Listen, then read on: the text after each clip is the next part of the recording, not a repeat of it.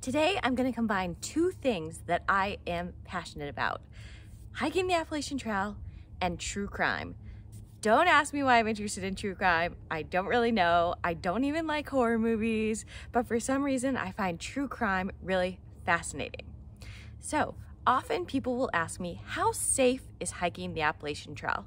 And I mean, while there are a lot of things that you have to worry about out there, like dehydration and injury and illness and wildlife, I think overwhelmingly what people want to know about most is the human element of that, meaning how safe is it in terms of other hikers and other people that are on the trail? So today I'm going to talk about the murders that have occurred on the Appalachian Trail. And first, I want to preface this by saying that statistically speaking, the AT is a very safe place to be. Since the trail was completed in 1937, that's when it was when it was fully connected from Georgia to Maine, there have been 13 murders along the Appalachian Trail. And I mean, while that's no number to scoff at, like certainly 13 murders is scary and significant, if you compare that to just a year in a city, it that number is pretty low. So I was living in Washington, D.C. before I started the trail in 2018, and that year that I hiked in 2018, there were 160 murders in Washington, D.C. So when you compare one year in a city versus decades on the trail, the numbers are pretty low and the trail is pretty darn safe.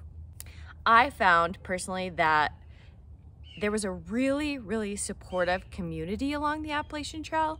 And if there was information that hikers needed to know, such as like, oh, there's a shady character hanging around this shelter, or this place might not be a safe place to hitchhike, something like that.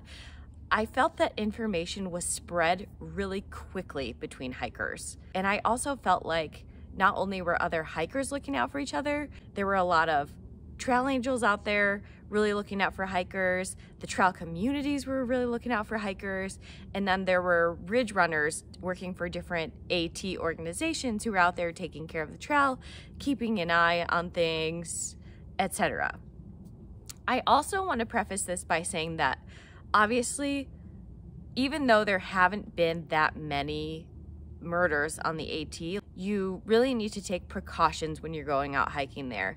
If you're doing a through hike, for example, hiking with another group of people or camping with another group of people could be helpful. Although lots of people hike alone, solo, and camp solo, and that's okay. But of course, being with other people can sometimes be a little more on the safe side. You can bring a GPS device with you that has an SOS or help button that will get you in touch with search and rescue if something does go wrong. So an example of this is the Garmin InReach Mini. That's the one that I have, but there are also other brands such as Spot that are popular. You can also bring along bear spray. Keep in touch with friends and family back home. And if you're just a day hiker, you're maybe going out for a shorter stint, I would say always tell someone where you're going, when you're leaving, and when you plan to be back, so that if you don't come back when you're supposed to be back, someone will know and realize and they can hopefully get some help or send help. In general, the AT is a very safe place to be with a strong community that really watches out for each other, but that doesn't mean that you shouldn't take safety precautions. So please do take safety precautions if you're going out on the AT, whether just for a day or for a through hike. From there, I really wanted to get into these murders and discuss the different ones and what happened. Not to scare you by any means, because again, I feel it's a very safe place with a strong community. But, you know, just to say that even in the best of places, which I would consider the AT to be among the best of places, bad things do still happen and there are bad people out everywhere that you really need to watch out for and trust your intuition on and all that sort of stuff. Let's get into these 13 murders that have occurred on the Appalachian Trail. Oh, and I'll also point out that while there are a lot of sources out there with information about the murders that have occurred on the trail, the best place that I found with all of this information in one consolidated place has been uh, the page of Greenbelly Meals. They have an article about this, so I'll link that article below. And I just wanted to say thank you to Greenbelly for putting all of this information in one place and making it easy on me because some of the other spots, like I have read about a lot of these murders before, especially ahead of my own through hike, but having all of that information in one place is obviously super helpful. So if you want more information about these, feel free to check out that Greenbelly page, which I will post below. We'll start in reverse order, talking about the most recent to the least recent murders.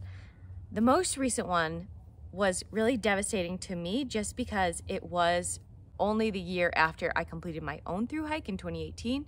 This murder occurred in 2019. This made the like international news. I had people coming out of the woodwork asking me what I thought and if I thought the AT was safe. And of course, I would say just what I've said to you guys, bad things can happen anywhere at any time, even in the safest of communities. So in 2019, James Jordan, aka Sovereign, was hanging out along the trail. He was alarming hikers, he was threatening them, he seemed to be um, mentally unstable, having some mental health issues that weren't being treated uh, hikers were alerting local authorities and asking them to do something. But I think that on the AT, because you go through so many towns and states and all of that, it's it's a, a question of whose jurisdiction of it, who can actually do something about this. So unfortunately, because he was moving around a lot, I think nothing was really able to be done. But he was harassing hikers for a long while before anything truly terrible happened. But on the morning of May 11th, 2019, James Jordan was acting erratically and threatening hikers once again. And specifically, he was threatening this group of four hikers. They went in two groups. They took off in opposite directions along the trail to get away from him. And he unfortunately chased down two of them going a certain way. This was in Southern Virginia at around mile point 545 going northbound. And he stabbed both of them with a machete and one of the hikers survived and one of them passed away. That hiker's name was Ronald Sanchez Jr., aka Stronghold, and he was recovering from PTSD from spending 16 years in the military and he was really using the outdoors to cope is what I read and unfortunately he was just you know at the wrong place at the wrong time and he was murdered, which was just obviously so devastating. And I'm so sorry for his friends and family.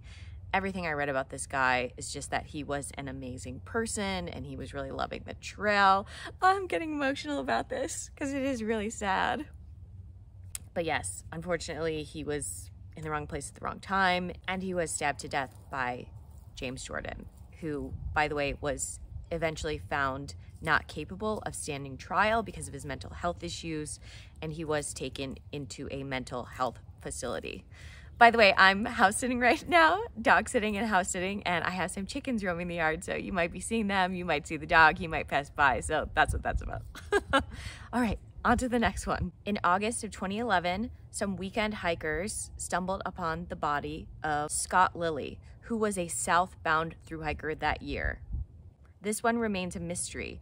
No one was caught or arrested for this murder. They don't know who did it, but his cause of death was asphyxia by suffocation, and all of his belongings were taken. They found him at a shelter. This was Cow Camp Gap Shelter in Virginia, and to this day it remains a mystery. They don't think that the motive was robbery, but because they haven't found the person and they don't know who did it, they're not sure.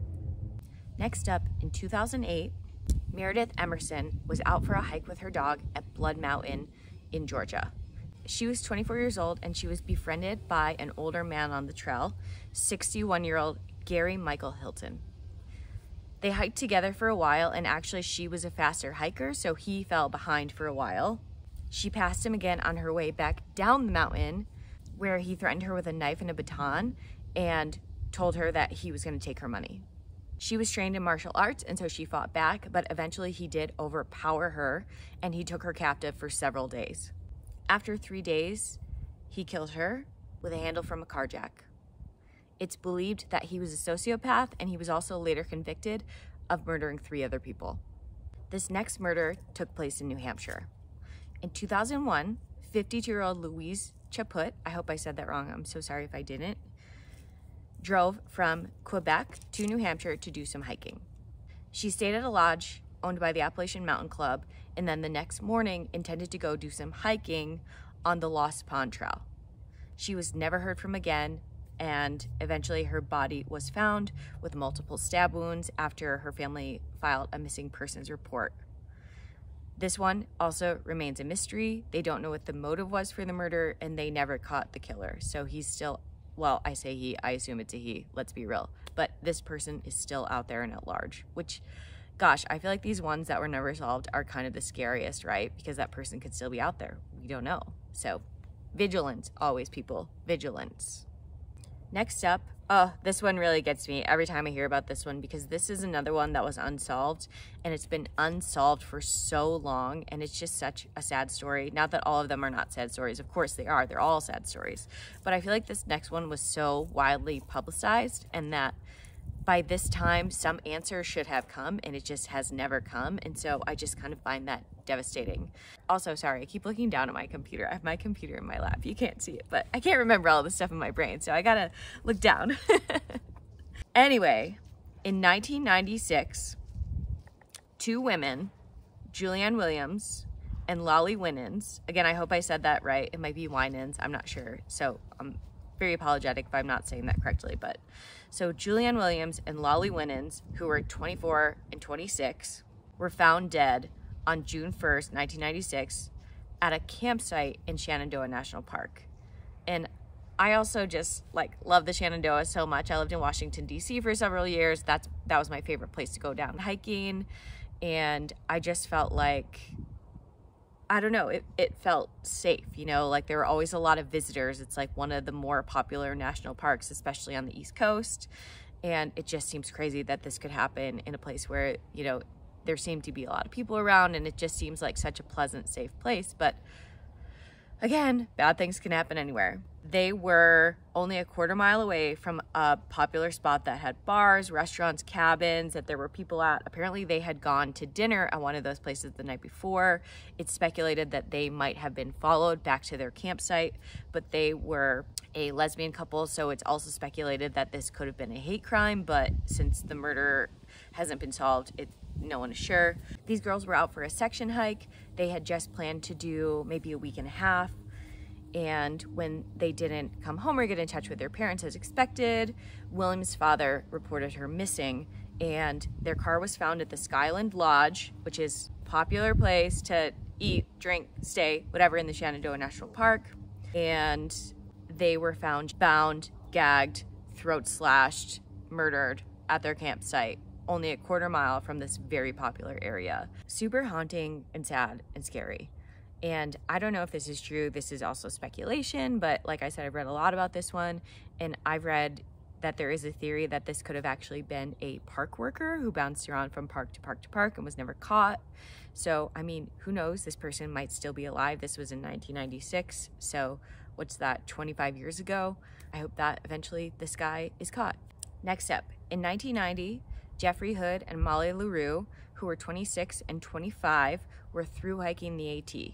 They spent the last night of their lives sleeping at Thelma Marks Shelter near Duncannon, Pennsylvania, when they were shot and stabbed by Paul David Crews, who is a wanted killer on the run from Florida. Molly got it especially bad as her hands were tied behind her back, a rope was tied around her neck, she was raped, and she was stabbed multiple times in the neck, throat, and back. Geoff was shot three times. After these two were killed, the killer took off with all of their possessions, and it's speculated that he killed them because both he wanted to rob them and he saw Molly as a rape prospect. Pretty freaking sad. Paul Crews, the murderer, is serving two life sentences with zero chance of parole. In 1988, Rebecca Wight was out hiking with her partner, Claudia Brenner, in Pennsylvania's Michaux State Forest.